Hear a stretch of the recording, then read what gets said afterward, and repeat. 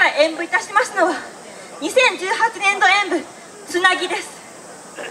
この作品のテーマは歌舞伎。己を貫き戦い続けた者たちが共に一つの舞台を作り上げていく姿を表現しております。この奇襲よさこいがつなぎの初披露となっております。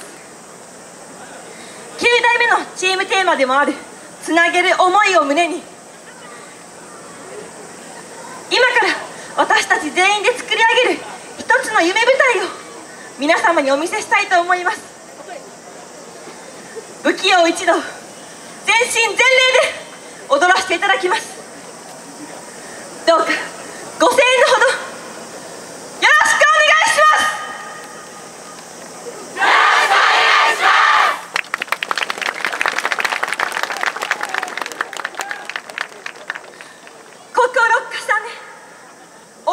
つなぐいざ行く。花道へ。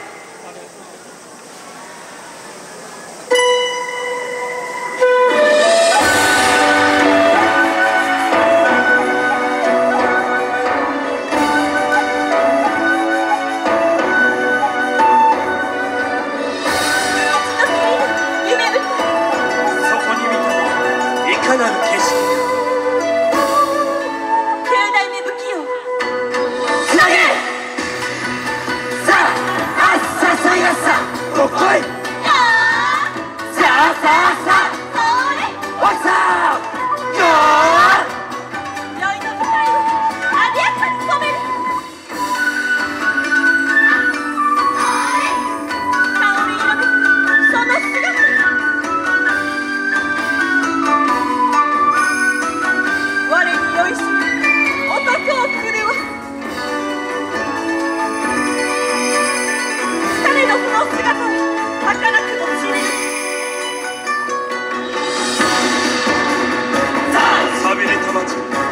お客様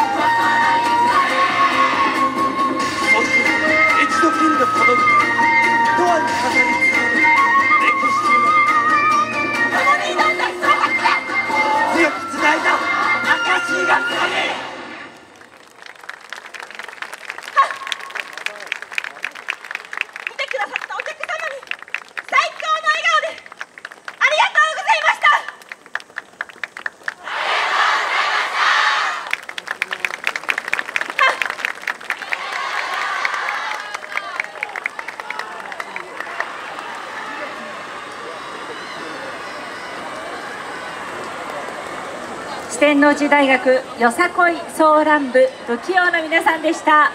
ありがとう